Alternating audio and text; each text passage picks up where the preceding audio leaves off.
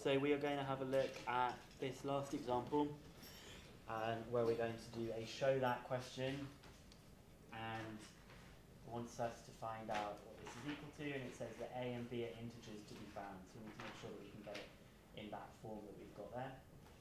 What do you think we need to do for the, the left-hand side of this of this equation to begin with? Yeah, we're going to have to expand it. Okay, so that's the first thing we're going to have to do on the left-hand side here.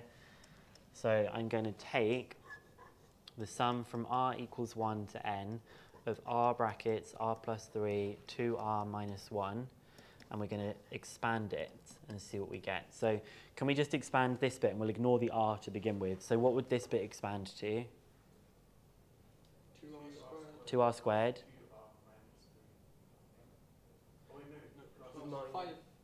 Good. It's going to be plus 5r. So it's going to be 2r squared. But we're going to actually make it r cubed because of the extra r. So it's 2r cubed. We said it was plus 5r. So it's going to be plus 5r squared. And it's going to be minus 3r like this. And this time I need to bracket it just to show I'm talking about the whole thing that we've got there.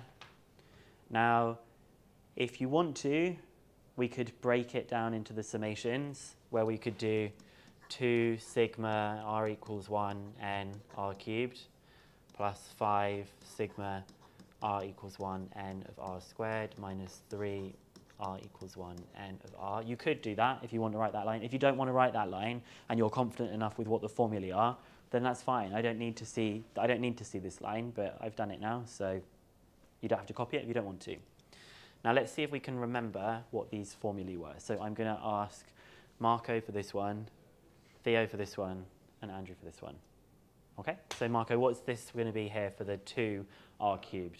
Two, and then in brackets, Yep, uh,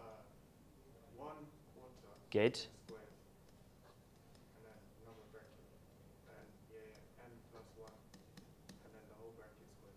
Good, like this. Yes. Yeah? Yeah. Yeah? I just didn't know because you were talking about which bits were being squared and things like that. But um, I, I thought you meant as in I got it wrong. No, no, no, not at all. It's not wrong at all. Um, I probably would have written it like that, but I might not have put the bracket. I actually might have just gone straight in and said two quarters at the beginning because I know that two times a quarter is two quarters. And on the next line, I can simplify that to a half. Just depends how much your brain can do without it um, doing like what you were just saying your calculators do, where you put in a number too big. Um, so Theo, you're going to do this next bit for me. Oh, nice. Um, okay, so uh, plus 5 over 6. Yep.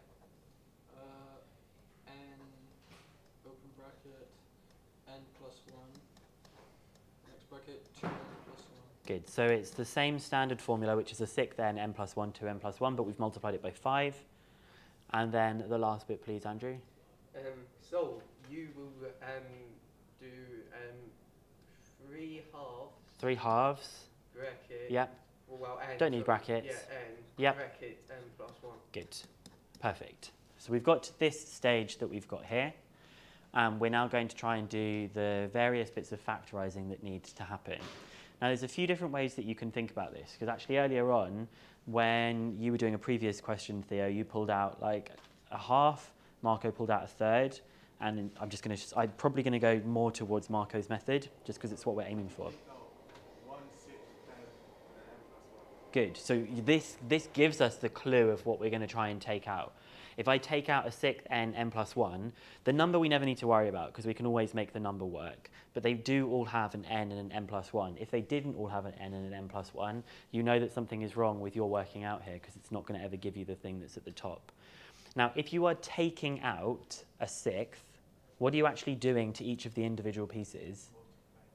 You're multiplying by six because taking out a factor of a sixth is dividing everything, dividing everything by a sixth, and dividing by a sixth is the same as multiplying everything by six. So when you pull out a number from a, when you're factorizing, you're normally dividing by that number. So I'm going to divide all of these bits when I pull them out. I'm going to multiply them all by six. When I pull out this a sixth, n, n plus one. I'll do some big brackets. I'm just going to replace that um, 2 over 4 with a half. It might just be a little bit easier to see what's going on now. So I'm going to be, first of all, I'll deal with the number. I've pulled out a sixth, so I'm multiplying by 6. 6 multiplied by a half is 3. Now I've pulled out an n and an n plus 1. What would I be left with?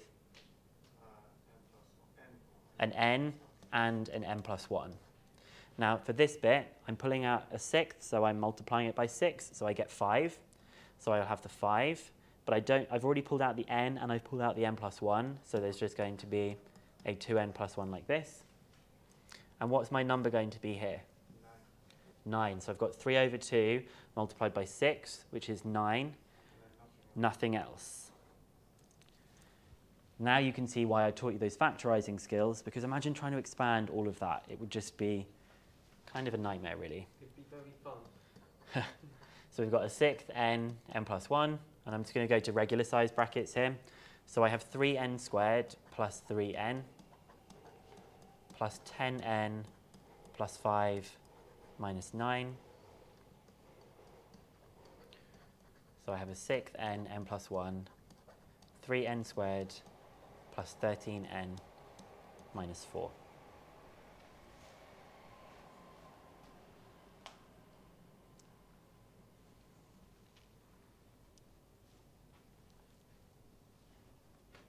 And if you wanted to, you could state that A is 13 and B is negative 4. And now you can see that it can't be factorized, which is why it was presented to us in the 3n squared plus an plus b form, rather than as these two double brackets that we've got there. Okay, then it says hence calculate this particular thing that we've got here from r equals 11 to r equals 40. So that is going to be, breaking it down into these two pieces, what are the, the top and bottom numbers going to be? Oh, um, r equals 140. Yep, and r equals 1 and 10. good. And then it's just going to literally be a case of substituting in 40 and then substituting in 10 and subtracting them. So it's going to be a sixth multiplied by 40 multiplied by 41 multiplied by, let's pick up my calculator. So that's 3 times 40 squared plus 13 times 40 minus 4. That's 5316. And then I'm going to have a sixth multiplied by 10 multiplied by 11 multiplied by 426.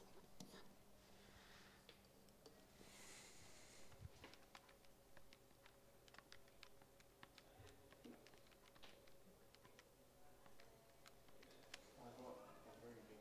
What number did you get?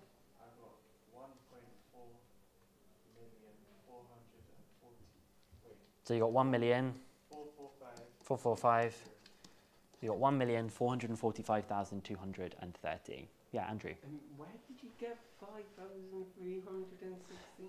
I substituted Oh, n okay. n equals 40 into that, Okay. and that gives you 5316. I just was being lazy. And in further maths, you, I don't want to start promoting that you can be lazy, but there are certain things you don't always have to do, like you want to show, now I'm substituting in. Like they're more interested in the stuff that's not in normal maths, okay? So you can, if you, if you're feeling good with your calculator skills, you can, you can still show this substitution, but you don't have to do it like line, line, line, loads and loads of lines of that all happening, okay? So we're going to do some questions from exercise 3b, and then we will do um, a couple of last bits that have got some kind of weird questions, and we'll just go from there, okay?